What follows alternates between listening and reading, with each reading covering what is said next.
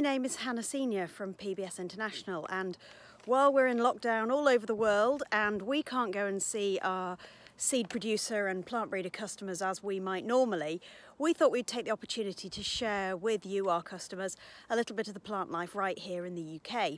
And today I thought I would talk to you about this tree right here, which is the European ash tree, Latin name Fraxinus or Fraxinus excelsior. It's one of the most common trees in the UK. Um, it can grow up to 35 metres tall and in addition to being one of the most common trees it also appears very frequently among hedgerows. Um, normally the hedgerows are a mixture of species and ash is, is very common amongst them. The family is the Oleaceae family, um, which includes olives and lilac and a lot of sort of woody shrubs.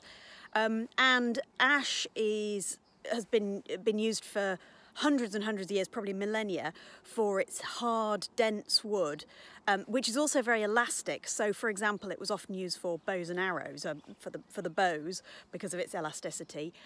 It's one of the later trees to get its leaves, which means that at this time of year, um, mid mid to late May, it's very easy to spot because it looks a bit thin.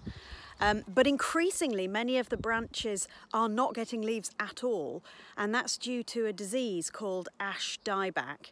Um, it's a fungal disease which originated in Asia where it had co-evolved with the Asian ash, but as it spread into Europe, um, the, the European ash species don't have any resistance to it and it's estimated that as many as 95% of all the European ash trees will eventually die as a consequence of that fungus which is you know really have a devastating impact on the landscape and the woodland and the hedgerows um, around around the UK.